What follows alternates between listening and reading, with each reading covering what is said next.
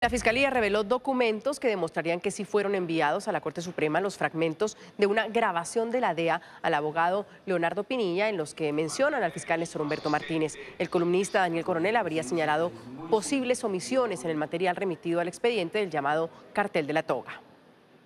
En varios Twitter, la Fiscalía reveló que en agosto de 2017 envió a la Corte Suprema y a la Comisión de Acusación las grabaciones de la DEA realizadas al abogado Leonardo Pinilla, en las que menciona el nombre del hoy fiscal general Néstor Humberto Martínez.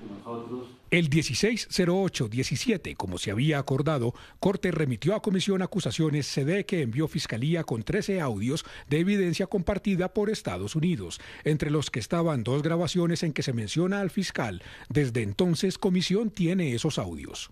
El columnista Daniel Coronel en la revista Semana aseguró que el fiscal general no había enviado esos fragmentos del expediente.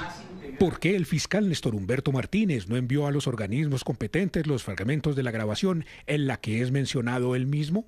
Fuentes de la Corte Suprema dijeron que esas grabaciones sí fueron recibidas, pero que no encontraron mérito para compulsar copias contra el fiscal general de la Nación.